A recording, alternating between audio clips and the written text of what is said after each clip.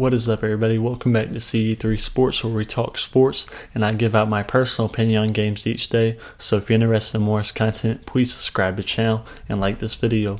Also, if you're interested in my YouTube Premium membership right here in the channel, that gives you my personal sports analysis, the games I'm taking myself each day. So, if you're interested in that, just go to the link in the description and you can get set up. But let's get this NCAA college basketball matchup tonight between Michigan and North Carolina. Both teams come into this game four and two, and this is another game in the ACC Big Ten Challenge, and the Big Ten has been dominating in this challenge so far. The ACC really hasn't done anything, and um, will we see that happen again here tonight? Uh, we'll see. It should be a very good game.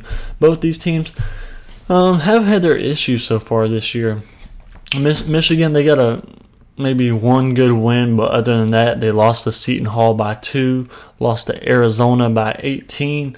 So nothing impressive there. And then you look at North Carolina; they're also four and two this year, but all their four wins are against teams that obviously they should be beating Loyola Maryland, Brown, College of Charleston. They only beat by 11. UNC Asheville, and then their losses come to Purdue and Tennessee. So both these teams really haven't proved anything to me yet.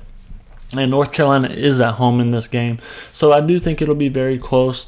Uh, Michigan's got a pretty good defense, and I think that might be the difference in this game. North Carolina has struggled a little bit on offense yet under their first year head coach, and um, that's why in this one I do think it'll be very close, but I'm going to take Michigan to pull this one out, and that's going to be my free pick. If you're interested in more content, please subscribe to the channel and like this video.